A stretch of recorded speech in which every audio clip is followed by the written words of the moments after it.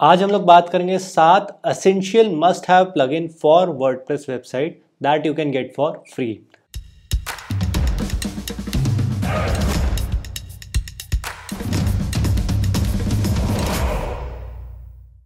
hi guys मेरा नाम है कृपेश आडवाणी।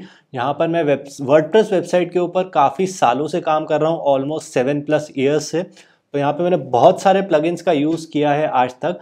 एंड उसमें से आज मैं आप लोगों को सात ऐसे प्लगइन्स बताने वाला हूँ जो कि एक एसेंशियल वर्डप्रेस प्लगइन्स में आ जाएँगे। अगर आप लोग एक नई वेबसाइट सेटअप कर रहे हो, अगर किसी क्लाइंट लिए कर रहे हो या अगर आपकी पुरानी वेबसाइट भी है तो ये कुछ वर्डप्रेस प्लगइन्स है जो आपकी वेबसाइट में होने चाहिए। पहला है सिक्योरिटी के लिए सिक्योरिटी काफ़ी एसेंशियल होती है वर्डप्रेस में तो और ज़्यादा इंपॉर्टेंस इसकी बढ़ जाती है क्योंकि बहुत सारे यहाँ पे थर्ड पार्टी प्लगइन्स और थीम्स का हम लोग यहाँ पर यूज़ करते हैं।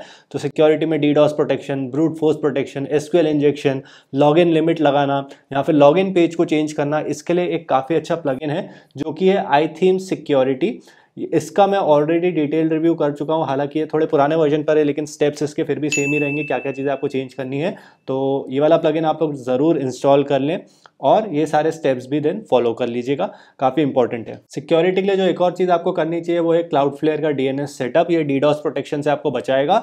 तो वो कैसे करना है फ्री में, उसका भी ऑलरेडी वीडियो अपलोडेड है। दोनों वीडियो के लिंक आपको आई बटन पर मिल जाएँगे। आप लोग जाके चेकआउट कर सकते हैं। सेकंड प्लगइन जो होना चाहिए, वो होना चाहिए आपके पास एसीओ ऑप्टिमाइजेशन के लिए। एसीओ ऑप्टिमाइजेशन के लिए यहाँ पर हमारे पास है Rank Math it's an all in one SEO plugin इसका जो फ्री वर्जन है, वो भी काफ़ी अच्छा है। पेड वर्जन भी अच्छा है। शुरुआत में आप लोग इसके फ्री वर्जन का यूज़ कर सकते हो। फ्री वर्जन में आपको काफ़ी सारी चीज़ें मिल जाती है एस के लिए मेटा डिस्क्रिप्शन वगैरह हम लोग एडिट कर सकते हैं स्कीमाज वगैरह क्रिएट कर सकते हैं एक्सएमएल साइट मैप्स वगैरह बना सकते हैं। तो एस ऑप्टिमाइजेशन के लिए रैंक मैथ काफ़ी अच्छा प्लगइन रहेगा और इसका पेड वर्जन भी आप लोग ट्राई आउट कर सकते हैं। इसका भी मैं रिव्यू कर चुका हूँ, वो आपको आई बटन पे मिल जाएगा। तीसरा जो इंपॉर्टेंट प्लगइन आपकी वर्डप्रेस वेबसाइट में होना चाहिए, वो है एक cache plugin now cache plugin में बहुत सारे यहाँ पर ऑप्शंस रहते हैं and it is one of the most difficult thing to setup in a WordPress website क्योंकि हर वेबसाइट अलग होती है, हर होस्टिंग अलग होती है, हर लोगों की रिक्वायरमेंट अलग अलग रहती है तो उसके हिसाब से उसको सेटअप करना रहता है.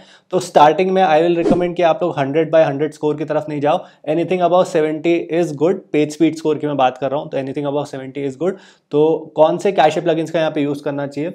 तो जो मेरी पहली रिकमेंडेशन रहेगी वो रहेगी डब्ल्यू पी रॉकेट ये एक पेड प्लगइन है तो अगर आप लोग अफोर्ड कर सकते हो तो go with W P Rocket मेरे ब्लॉग्स पे यही लगा हुआ है। और अगर आप लोग लाइट स्पीड होस्टिंग के ऊपर हो तो आप लोग लाइट स्पीड कैशे प्लगइन का यूज़ कर सकते हो। बहुत सारी यहाँ पर होस्टिंग लाइट स्पीड सर्वर्स पे बेस्ड है। जैसे कि केमी क्लाउड हो गया होस्टिंगर हो गया, और मैंने इसके रिव्यूज़ भी करके रखे बेस्ट होस्टिंग 2022 का मैंने रिसेंटली वीडियो भी बनाया था। अगर नहीं देखा है तो वो आपको आई बटन पर मिल जाएगा। वहाँ पर सारे होस्टिंग प्रोवाइडर्स के बारे में मैंने बात करी है। तो अगर आपकी होस्टिंग प्रोवाइडर यहाँ पे लाइट स्पीड सर्वर का यूज़ कर रहा है तो लाइट स्पीड कैशे प्लगइन का आप लोग यूज़ कर सकते हो। फ्री में काफ़ी अच्छा है। मैंने इसकी सेटिंग्स का भी डिटेल्ड वीडियो बनाया था। वो भी आपको आई बटन पर मिल जाएगा। और अगर आपके इंजनेक्स सर्वर्स हैं तो फिर I will recommend you can go with W three total cache है एंड ऑटो ऑप्टिमाइज इन दोनों का कॉम्बिनेशन आप लोग यूज़ कर सकते हो and you will get a good result next essential plugin is to prevent spam that is anti spam bee बहुत सारे स्पैम्स आते हैं हमें कमेंट्स में तो एंटी स्पैम बी फ्री में लाइट वेट काफ़ी अच्छा प्लगइन है, मैं अपनी वेबसाइट्स में इसी का यूज़ करता हूँ। क्योंकि स्पैम्स तो आने ही अगर आप लोग वर्डप्रेस वेबसाइट बनाओगे तो उसमें स्पैम्स नेक्स्ट डे से ही शुरू हो जाएँगे आपके कॉमेंट बॉक्स में आना। जैसे आपकी वेबसाइट इंडेक्स होना शुरू हो जाएगी, वैसे ही यहाँ पर स्पैम्स भी आने शुरू हो जाएँगे। तो उसके लिए काफ़ी अच्छा प्लगइन है। एक बार बस इसकी सेटिंग करके छोड़ दो and then you are done और फिर आपको इसको बार बार चेकआउट करने की ज़रूरत नहीं रहेगी। Next we have is W P mail S M T P अब प्रॉब्लम क्या होती है वर्डप्रेस में? जितने भी वर्डप्रेस के मेलिंग फ़ंक्शंस रहते हैं, वो पीएचपी के थ्रू होते हैं। पीएचपी जो होस्टिंग होस्टिंग सर्विस में जो बाय डिफ़ॉल्ट पीएचपी के थ्रू जो मेलिंग सर्विसेज़ होती है, उसका यूज़ किया जाता है। और उसमें बहुत बार जो मेल्स होते हैं, वो स्पैम में चले जाते हैं या होस्टिंग ने प्रॉपरली उसको कन्फिगर ही नहीं किया होता है तो मेल्स जाते ही नहीं है।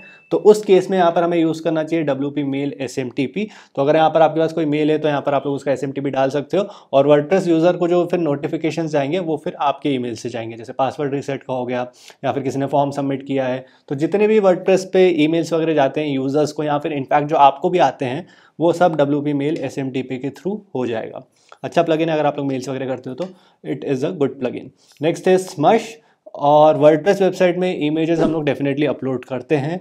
और बहुत बार इमेजेस प्रॉपरली कंप्रेस नहीं होती है ऑप्टिमाइज नहीं होती है तो स्मश एक अच्छा फ्री प्लगइन है जिसका आप लोग यूज़ कर सकते हो इमेज ऑप्टिमाइजेशन के लिए। Next important plugin is UpdraftPlus अगर आपको बैकअप्स वगैरह लेने हैं ऑफ़ साइट या फिर गूगल ड्राइव के ऊपर या फिर आपके लोकल हार्ड डिस्क के ऊपर तो अपड्राफ्ट अपड्राफ्ट प्लस एक काफ़ी अच्छा प्लगइन रहेगा। इसको मैंने जब भी मैं एक सर्वर से दूसरे सर्वर पर अपनी वेबसाइट शिफ्ट करता हूँ तो भी मैं इसका यूज़ करता हूँ। पहले मैं बैकअप ले लेता हूँ देन दूसरे सर्वर पर जाकर उसको रिस्टोर कर लेता हूँ। तो उसके लिए भी इंपॉर्टेंट है।